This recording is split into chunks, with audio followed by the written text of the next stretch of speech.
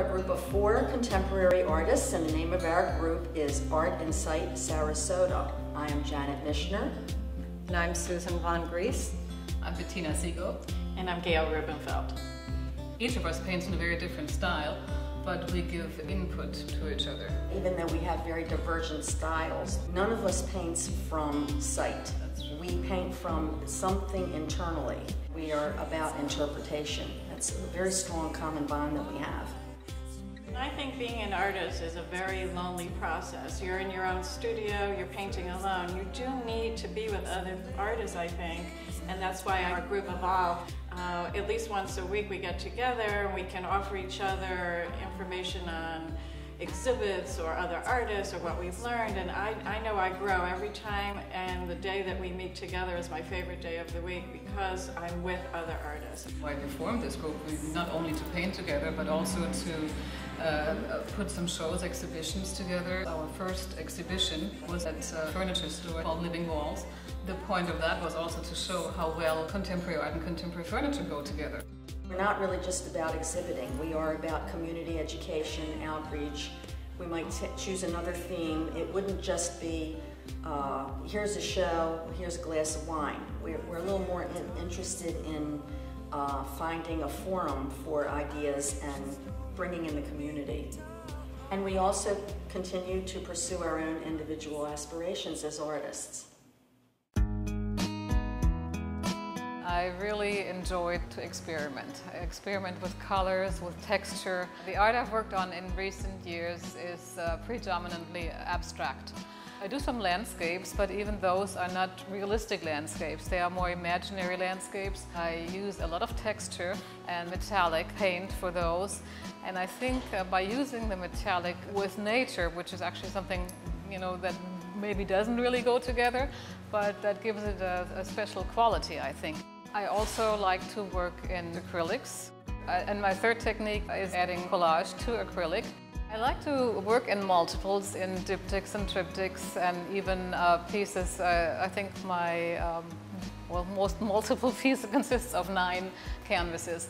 So this is actually one of uh, my triptychs, and it's in different stages. And this is how it starts out with the texture, and then this golden layer comes on. Now this is kind of half finished and this I think is finished. I like the idea that multiple canvases are flexible and you can use them, you can put them together however you want. You can, let's say, put them next to each other on top of each other and this way the person who owns my art or even sees it in an exhibition can actually give their own input and, and create their own uh, work of art by changing the individual canvases around. I like to use semi-abstract icons taken from nature like leaves, rain, elements for water. Uh, and uh, by using again the metallic paint, I think it's sort of a symbolic uh, landscape, I would say. And uh, in a way, I like to invite the viewer to come into this landscape and interpret it for themselves. I chose to become a fashion design major, but never really doing fine art. My identical twin sister was the artist, but she always made me take an art class over time as we both got married and had children. I started doing collage work. I took a collage class with a wonderful teacher in Sarasota called Harold Weiner. He believed in me before I believed in myself, and so did my twin. And when I look at my resume now, over the last 10 or 12 years, I've had a lot of shows in Sarasota, and now I consider, it took me a long time to say it, I consider myself an artist. It was a lot of angst for me in the beginning to decide what inspired me, but now things tell me what to paint. I think I became uh, much more of a spiritual person since my twin passed away about 13, 14 years ago. I have a spiritual connection with her that I never thought was a possibility, and I became a more spiritual person. When I see a blank canvas, it, it, sort of tells me what it wants me to do in some cases, especially with portraits. Uh, the person kind of just appears out of the canvas. Although I do like to experiment, there's always something new to learn in art. That's what I love about art. I recently painted a portrait of Gilad Shalit, and it was his 25th birthday. He's in captivity for five years um, in Gaza, and the picture literally painted itself. Somebody told me what background to use. It was a, the most spiritual painting, and I, I felt like I squeezed some white paint on the canvas, some black paint on the canvas, took a brush, and the painting appeared. Sometimes I'm frustrated, and sometimes I'm not sure what to do. And I, I, I, like that as well about it. I think it's a challenge and, in, and it's mentally stimulating. I mean, art, you always learn something new. Just looking around at what somebody else is doing and you learn something. And I find art the most challenging, passionate thing I've done in terms of a career. I think I was born an artist. I was always passionate about art. I decided just a few years ago that I wanted to stop paint, painting impressionistic or representational art and instead I wanted to become an abstract artist because I felt as though I could really release this boldness inside of me. The paintings that I do now are motivated by music and I would attribute that to the fact that my father was a musician we always heard music playing in our house. I would call my art lyrical abstraction because I try to develop a lyrical feeling in my art. Uh, the movement that I instill in my paintings comes from the feelings that I feel when I'm listening to the music. I have no preconceived idea of what I'm going to paint. I listen to beautiful music, and after a while, I put down some really strong strokes about the way I feel with my brush. It's kind of like a conductor of an orchestra. As he waves his baton with exuberance, that's the way my initial strokes are. And then I bring in the orchestra, the orchestra being the colors, perhaps texture. And from that point on, I develop the, the painting. I love shapes. Line is extremely important to me because it's very expressive. I can express agitation, I can express joy, I can express musicality. Little by little, my art is becoming freer and freer. I try to paint six days a week. I love to paint.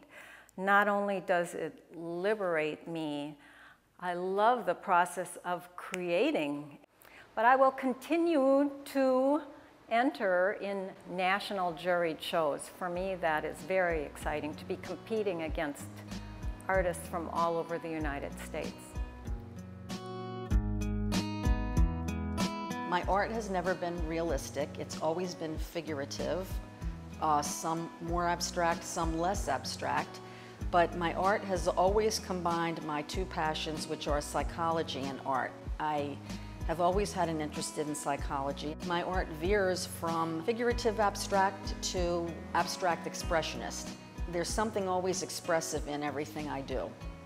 Let me talk about this piece for a minute. I brought this because it's an early work and it expresses where I initially came from, which was an idea. And the idea was that I was painting a painting about loss, and this was about a very close friend who lost a child. And the idea that we love our children and we hold them near to us, but we can't protect them and we can't keep them safe.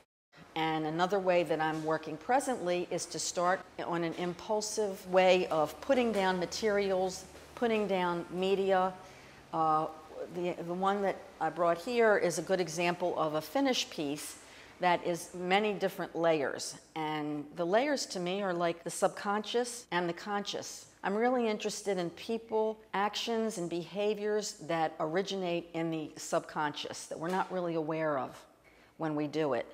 And I brought this one because this is in the process of that. It's not finished, but I use different kinds of medium for it and don't know what the next layer is going to be. And I'm waiting to see what comes to me but I'm, I'm very interested in uh, psychoanalysis and thoughts that seem unrelated, layers of personality that are submerged but eventually come out and become apparent to us. I want to continue experimenting with my work, experimenting with materials. Uh, it's a tremendous challenge for me because in the process I often don't know where I am or where I'm going with it. And I'm hoping to expand my exposure as an artist outside of Florida. We're thrilled that Art Insight Sarasota already has a name recognition in our local arts community. And I guess the next step would be uh, to get recognition statewide and maybe even nationally. And in the meantime, in our community, we are tossing around the idea of putting together a benefit for a community organization because we are a community group. And uh, we chose the name Art Insight Sarasota to brand ourselves as artists who are ever challenging ourselves and uh, pushing the boundaries in terms of where art is seen and how it's produced.